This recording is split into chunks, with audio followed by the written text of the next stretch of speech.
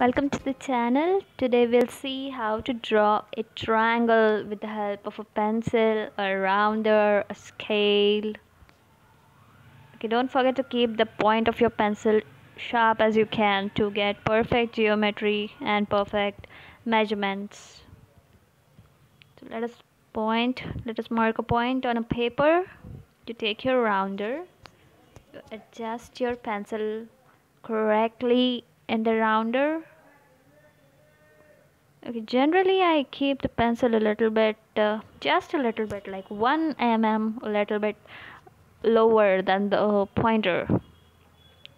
You know ensure perfect geometry to ensure the flexibility because that is more convenient for me. Okay, you you can take the distance as per the pointer of your rounder okay take appropriate distance between the rounder say 3 centimeter if you want the sides of the triangle to be 3 centimeter or nearby that. Just draw a circle.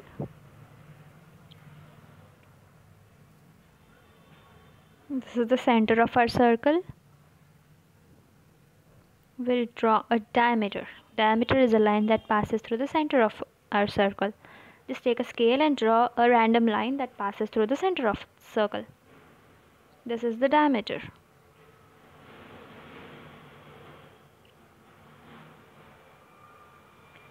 Now keep with the same distance between your rounder, keep the pointer of a rounder at one end of the diameter. And mark two arcs. Don't do not change the distance, okay?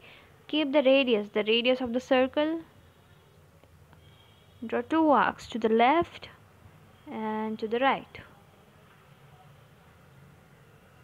Okay perfect.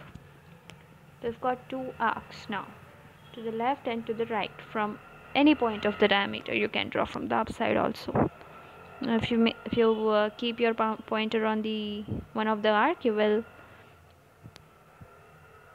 find the same distance now now keep on drawing these arcs like one after the other. In total there are there will be six arcs. So we have we have got our six arcs. One two three four five and six. Now to draw a triangle we have to join the alternate arcs. Join the alternate arcs. Just like I'm leaving the one I'm joining the two arcs I'm leaving the one in between them. Correct? Similarly I'm joining these two I'm leaving the upper one.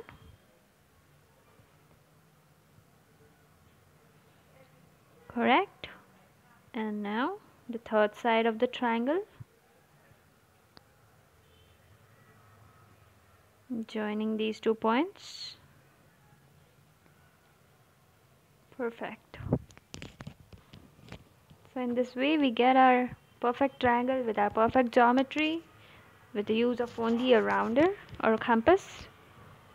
You can erase you can erase the geometry if you just want the triangle. Just be sure about the vertices uh, use a pointed eraser if you're going to erase the geometry